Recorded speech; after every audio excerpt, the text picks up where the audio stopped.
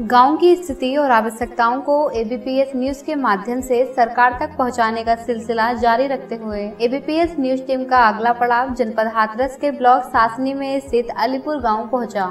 इस गाँव की दूरी ब्लॉक से 10 किलोमीटर तो वहीं जिला मुख्यालय से 18 किलोमीटर ही है। लगभग 10,000 की आबादी व 700 वोटरों द्वारा किरण देवी को अपना ग्राम प्रधान चुनकर गाँव के विकास की ज़िम्मेदारी सौंपी है। वर्तमान समय में गाँव में लगभग 150 राशन कार्ड धारक हैं। गाँव में शिक्षा के स्तर की बात की जाए तो प्राइमरी पाठशाला में लगभग 90 बच्चे शिक्षा ग्रहण करने आ रहे हैं। गाँव में विकास कार्यों की बात की जाए तो पेयजल आपूर्ति व्यवस्था दुरुस्त करने के लिए 45 हैंडपंप लगे हुए हैं। वर्तमान प्रधान द्वारा तीन हैंडपंपों को भी रिवोर कराया गया है। वहीं विद्युत व्यवस्था दुरुस्त करने के लिए गाँव में लगभग पचास विद्युत पोल, दो विद्युत ट्रांसफार्मर व सोलर लाइट भी लगी हुई है।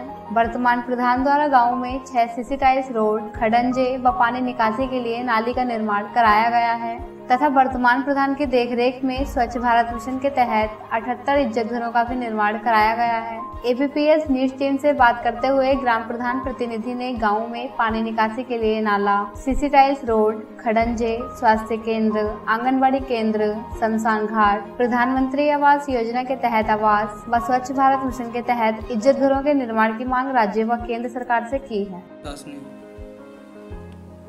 डिस्ट्रिक्ट नया पंचायत हकीपुर हमने अभी छः इंटरलॉक कार्य कराए हुए हैं और शौचालय का कार्य भी कराया। है जो सभी कार्य पूरे हैं, लेकिन अभी थोड़ी शौचालय की भी ज़रूरत है।